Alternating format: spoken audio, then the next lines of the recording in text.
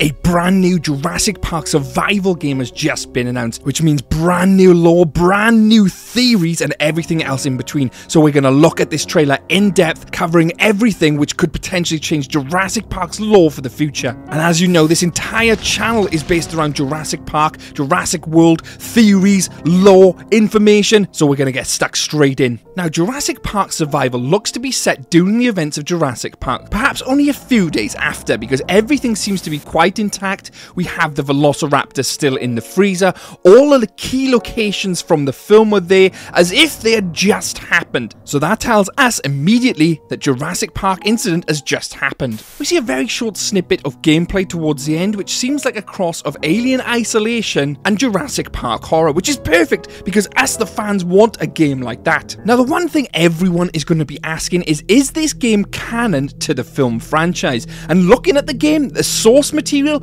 looks like it could possibly be. Everything seems to fit the universe of the film Jurassic Park down to a T. Even the story seems to fit with. There seems to be a doctor left behind on Isla Nublar and needs some type of rescue. Again, very plausible during the original film. There doesn't seem to be any law breaking elements as such, like some outlandish hybrid theory monstrosity like we could have seen in Jurassic Park 4. So, in regards to being canon to the films, it looks like it's a good chance. And if not, it could always be soft canon like Jurassic Park the game. Now, looking back over the trailer frame by frame, I've uncovered more truths to the Jurassic Park franchise, so let's go over them together. First off, we obviously see the island with John Hammond talking in the background, so there isn't a lot to dissect, but then we move into the waterfall sequence and we see a Jurassic Park Jeep there. Now, this is extremely interesting because this Jeep would have been left behind from the evacuation of the original Jurassic Park, the Jeep which Hammond, Dr. Sattler, Dr. Grant, and Ian Malcolm took, along along with the kids, obviously.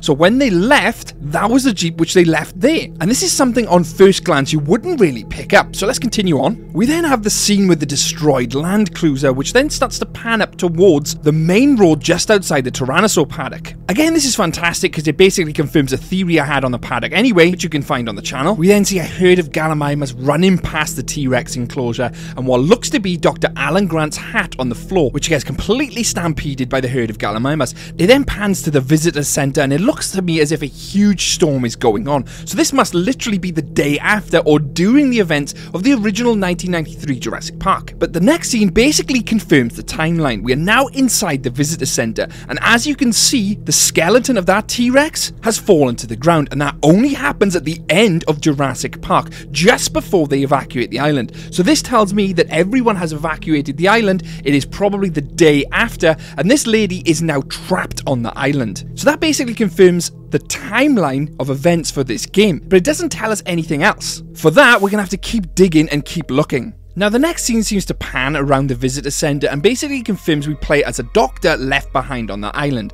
Dr. Maya Joshi, who's a brand new entry into the entire Jurassic Park franchise. Upon it panning around the visitor center, we actually see a claw mark, three claw marks in what looks to be in metal or the wall. This would presumably have been from the Rex potentially, or one of the Velociraptors, although it's very hard to actually tell. The T-Rex unlikely would have had the strength to do that to the wall. The same goes for the Velociraptors, because that gash looks absolutely massive. So this could actually come from a new dinosaur we haven't seen in Jurassic Park yet. We then see the old banner which is on the floor, obviously which goes in front of Rexy at the end of Jurassic Park, and then in comes the fan favourite Dilophosaurus, and it makes an appearance exactly where the Velociraptor did, and exactly the same camera angle as what Ellie sees in Jurassic Park. Now this entire trailer is jam-packed with fan references and callbacks to the original Jurassic Park, and that's just one of many as we continue. Now, this is probably one of my favourites where our antagonist goes into the kitchen, and again, so many callbacks here. The camera angle looking at the door is exactly the same as the original Jurassic Park and Camp Cretaceous callback. But instead of a Velociraptor coming through the door, it's now a Dilophosaurus. What is extremely interesting about this scene as well is all the pots and pans which are hit over by the Velociraptors when they were chasing Lex and Tim are all in the exact same positions as you can see there. That is exactly where the Velociraptor would poke his head through during that scene, and you also see the ladle which falls off the hook and alerts the Velociraptors. Now, as she makes her escape from the kitchen from that Dilophosaurus, it pans and we see the cold storage unit. Now, if you remember, one of the Velociraptors was actually locked inside of here, because at this point in the timeline, the two Velociraptors would have been killed by the Jurassic Park T-Rex, leaving only one Velociraptor, presumably in that cold storage unit. But that's something we'll come back to later. But just quickly before we move on, you can see that the original lock they used to lock it in is now unlatched. That door can be opened. This part is also extremely interesting because she seems to be taking the route that Ellie and Robert Muldoon took when Ellie was making her way to the power backup generator shed. We then see a lovely nod to Dennis Nedry and the Dilophosaurus because the Dilophosaurus pokes his head around the tree exactly like it does with Dennis Nedry. I absolutely love that callback and I think it's fantastic. Another point I'd like to mention at this stage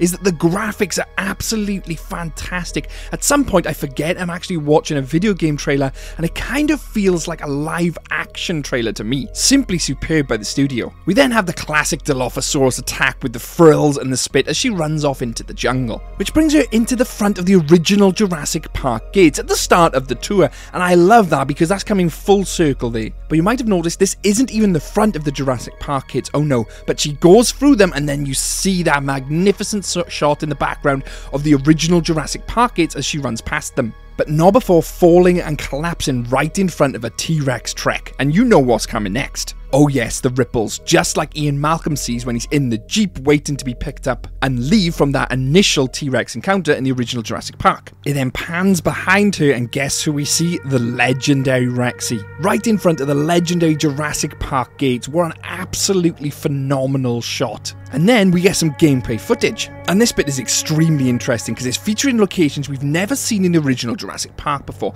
It starts with us kind of like leaping off a raft and going into a like Jurassic Park boating shed where she gets attacked by what looks like a Velociraptor. Now, we'll talk about that Velociraptor later on, but let's talk about this Jurassic Park boating shed. Because not once in the Jurassic Park lore has it ever been mentioned of a boating shed. Well, not in the movie universe, but in the novel universe, Dr. Alan Grant and the kids actually go into like a boating shed and steal a river raft. This could be a reference to that and something we'll see in the game. It definitely looks like some type of crossing of some sort, like the crossing we see at the beginning of Jurassic Park, where Donald Gennaro is being pulled to the other side. Remember that scene? We then see our antagonist in what looks like a sewer being attacked by the T-Rex. Now, as we know, we do see Dr. Alan Grant, Lex, and Tim in one of these massive rain ducts, so it could easily be one of them, and it does look to be that type. We then have the title card, and just before it finishes, it pans back to that cold storage, and we see the door fling open with a Velociraptor cry out. That's confirming that Velociraptor, which was trapped in Jurassic Park, is now free, and obviously we know it's free because we see it attack us on that little raft. Now, the main question on everyone's minds is is this going to be canon to the Jurassic Park franchise, and what is the release date going to be? I'll talk about that information in a second, but what I would like to say, it is so easy to pick out references and Easter eggs which are not really there. For example, you could easily say, oh, look, there's a T Rex there in this trailer, just like we see a T Rex bursting out of the original 1993 paddock. Yes, the similarities are there, but that is not an Easter egg. That is just a similarity slash coincidence. So you will not find any of that in this breakdown as you've noticed, because I could easily drag this on for 20 minutes and waste your time, and I don't believe that is the right thing to do. If you're a Jurassic Park fan like me, which I know you guys are, you want the nitty gritty, everything we've just talked about, none of that type of rubbish. With that out of the way, the potential release date and whether it's canon or not, release date is very hard to say at this time. I'd probably say mid 2024 to the end of 2024, especially as most gameplay trailers at the Gameplay Awards were aiming towards the end of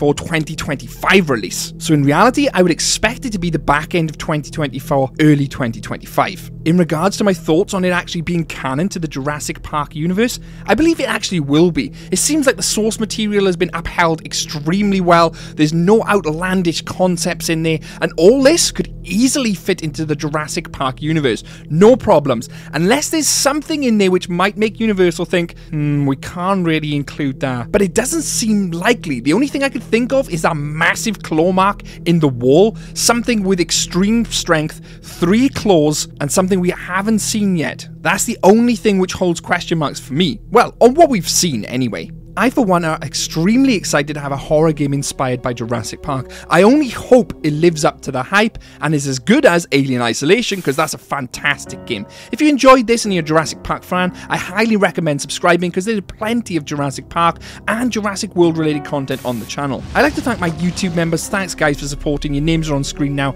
I couldn't do without you. I'm Shadows, and can I solve Jurassic Park related theories? You bet Jurassic can. Catch you later.